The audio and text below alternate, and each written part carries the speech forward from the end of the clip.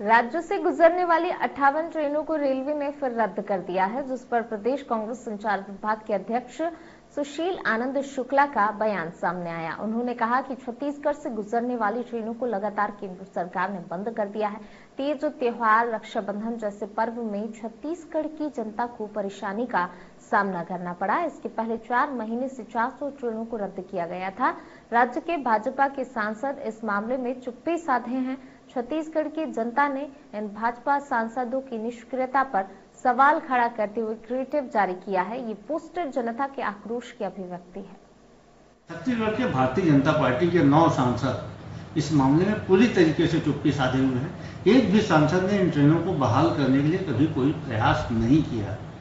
प्रदेश की जनता ने क्रिएटिव जारी करके सोशल मीडिया में इन सांसदों की मिसिंग का पोस्टर वायरल किया है। और जनता की द्वारा की गई ये कार्रवाई बिल्कुल जायज़ है। ये सांसद हैं कहाँ? क्या सिर्फ़ इनको वेतन भत्ते मौज करने के लिए सांसद बनाया गया है?